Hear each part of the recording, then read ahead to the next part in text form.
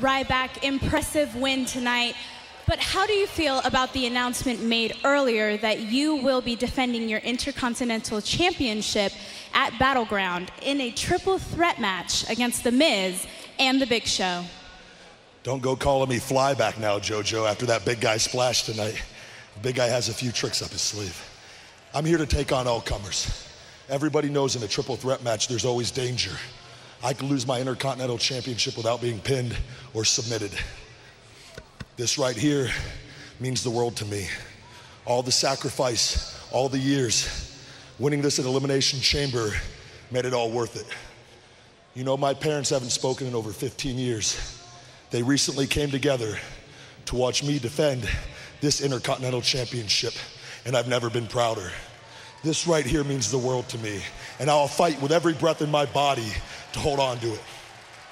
It doesn't matter if it's one man two men, or the entire locker room, hell, the entire world. The big guy is here to stay. And together, me and the WWE Universe, together we say, feed me more. Feed me.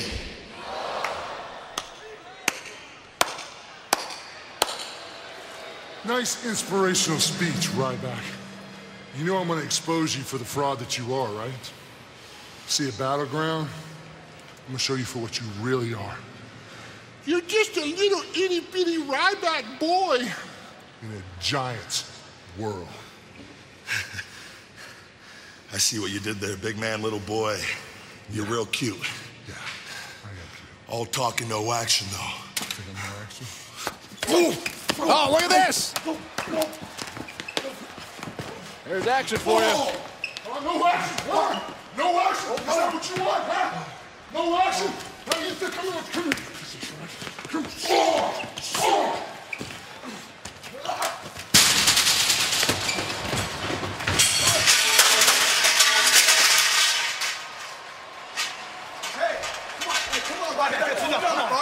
You're not so big now. You're not so big now. Stay back. Come on, Chad. Let's go. Stay back. And we are back on Monday Night Raw.